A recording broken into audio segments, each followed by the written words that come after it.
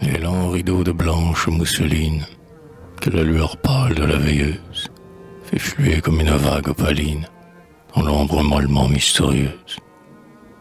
Les grands rideaux du grand lit d'Adeline ont entendu, Claire, ta voix rieuse, ta deux argentine et câline, que notre voix enlace.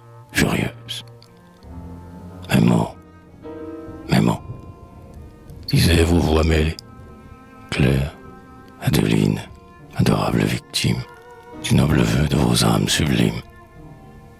Aimez, aimez, ô chers esselés, puisqu'en ces jours de malheur, vous encore, le glorieux stigmate vous décore.